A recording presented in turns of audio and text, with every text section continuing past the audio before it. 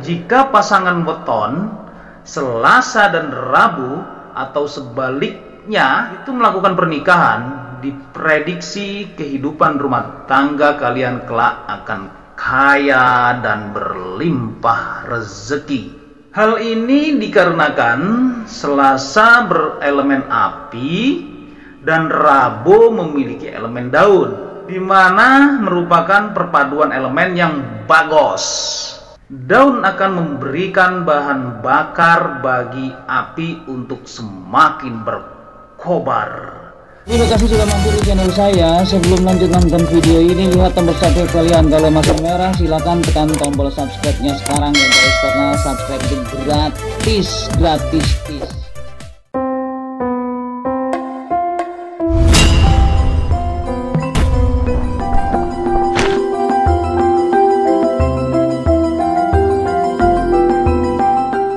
Assalamualaikum warahmatullahi wabarakatuh. Alhamdulillahirrabbilalamin Marilah kita panjatkan puji dan syukur hanyalah kepada Allah subhanahu wa ta'ala Yang senantiasa memberikan kepada kita yaitu nikmat Nikmat sehat, nikmat iman dan nikmat Islam. Selawat serta salam semoga tercurah kepada junjungan alam yaitu Nabi besar Muhammad sallallahu alaihi wasallam pada keluarganya, sahabat-sahabatnya, dan insya Allah kepada kita semuanya sebagai penerus perjuangan beliau hingga akhir zaman. Nenek moyang terdahulu sudah memberikan metode-metode perhitungan weton bagi anak cucunya yang tujuannya agar ketika menikah hidupnya dapat akan semakin kaya dan sukses. Sukses dan kaya raya setelah menikah, apalagi bila sampai memiliki tabungan miliaran rupiah, tentu menjadi dambaan banyak pemilik weton. Yang saya prediksi kali ini adalah yaitu weton Selasa dan Rabu apabila pada saat menikah nanti akan memiliki tabungan yang banyak. Semua orang pasti mendambakan kehidupan rumah tangga yang adem ayem, tentrem dan berlimpah rezeki setelah menikah.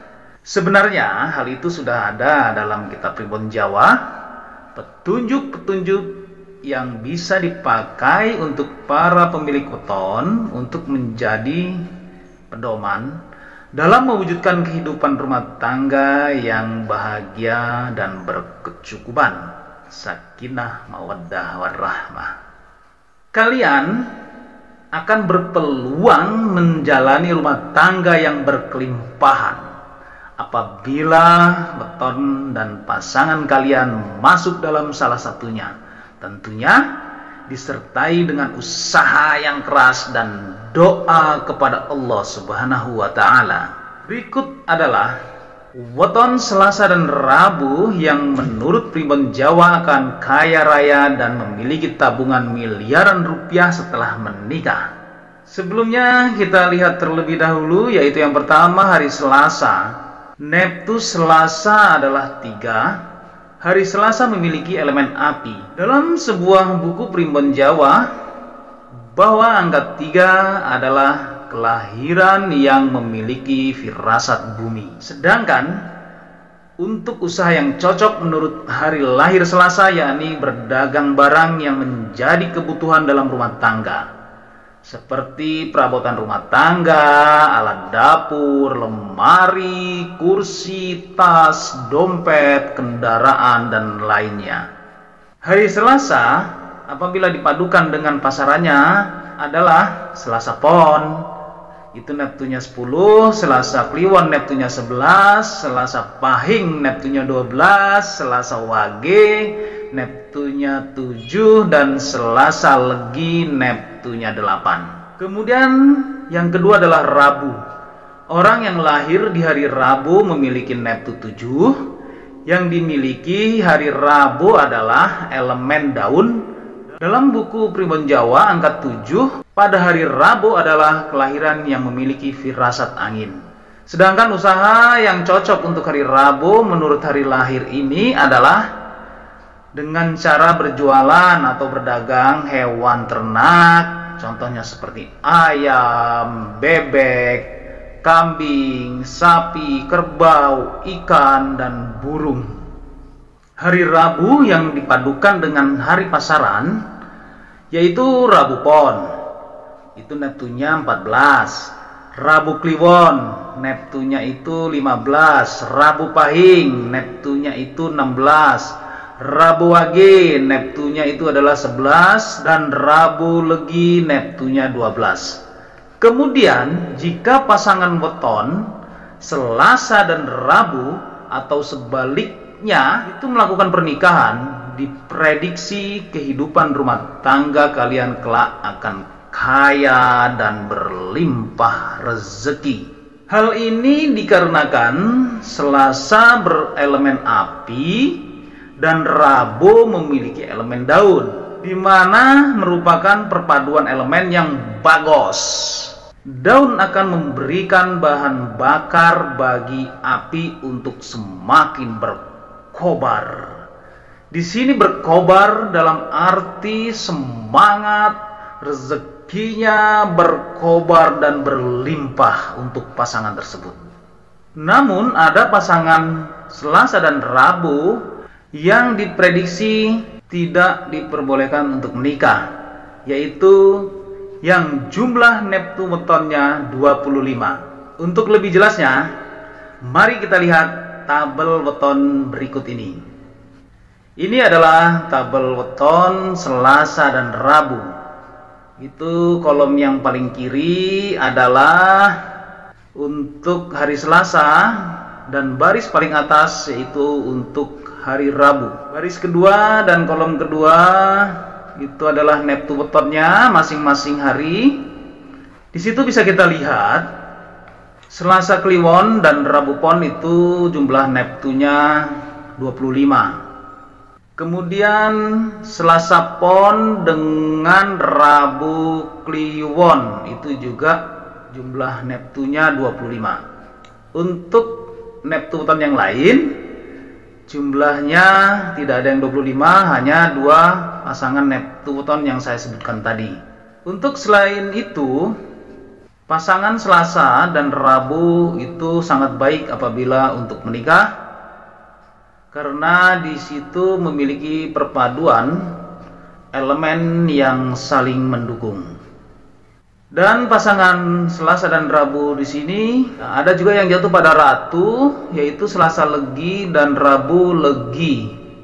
Itu jumlah Neptunonnya 20. Dan kita lihat di sini untuk pasangan hari Selasa dan Rabu ini lebih banyak masuk pada kategori gedong yaitu berkelimpahan rezeki.